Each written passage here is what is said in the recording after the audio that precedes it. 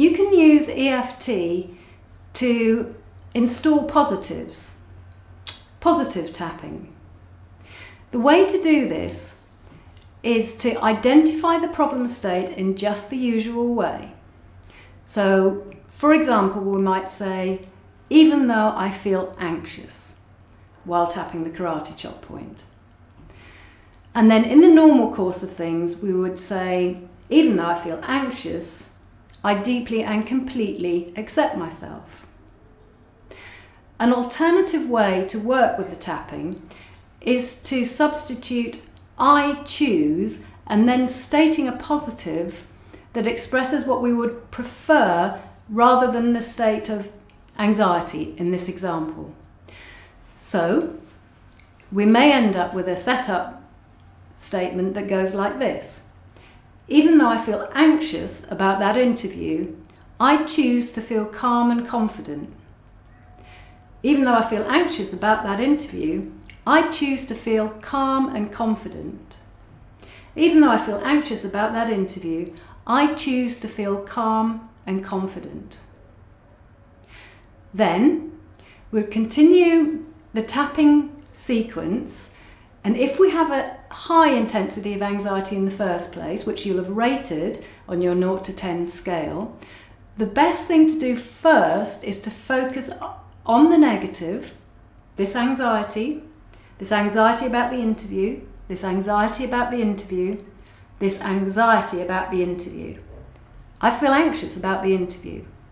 This anxiety about the interview. This anxiety about the interview. This anxiety about the interview. And then at this point, carry on straight away with the positive statement, which was I choose to feel calm and confident. I choose to feel calm and confident. I choose to feel calm and confident. Tapping each of the points, I choose to feel calm and confident. I choose to feel calm and confident. I choose to feel calm and confident. I choose to feel calm and confident. I choose to feel calm and confident. And then at this point, we continue with the negative statement, I feel anxious about the interview, followed immediately by the positive statement, I choose to feel calm and confident. I feel anxious about the interview. I choose to feel calm and confident. Anxious about the interview.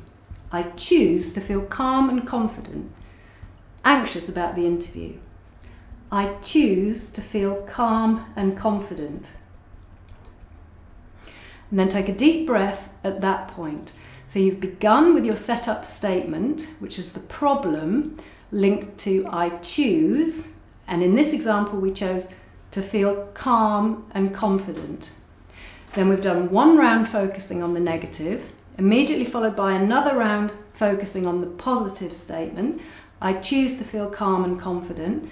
And then we've immediately followed that with a round alternating. The important thing beginning with the negative on the eyebrow point, the anxiety about the interview, then followed by the positive, I choose to feel calm and confident, so that we end up on the top of the head with I choose to feel calm and confident.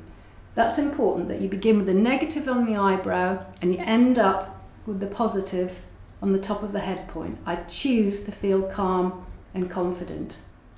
In this way, whenever we go to think about the negative, anxious about the interview, our brain immediately links to the positive, I choose to feel calm and confident. And this will work with whatever examples of the negative, the problem state, and the positive that you put together, linking with I choose.